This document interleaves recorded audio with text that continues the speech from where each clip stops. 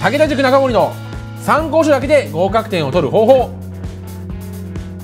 はいそれでは今回は、えー、順天堂大学の、えー、医学部、えー、以外の、えー、学部の勉強について話していきたいと思います。えー、ただ国際教育学部に関してはまだ過去問が、えー、発売されておりませんので割愛させていただきます。まあ、医学部とそれ以外の学部でかなり難易度が違いますので、まあえーまあ、スポーツ健康科学部、医療看護学部、えー、保健看護学部、えー、になりますが、こちらは割と、えー、基本的な、基礎的な内容が、えー、多く、えー、出ておりますので、まあ、それに対してどういった対策をしていくか、まあ、学部ごとに問題が違ったりもしますので、えー、そのあたりも含めて、えー、一個一個話していきたいと思います。それでは、各科目の勉強法、英語、数学、国語、世界史、日本史、科学、生物の、勉強について話していきたいと思います。いじめのみたい科目を選択してください。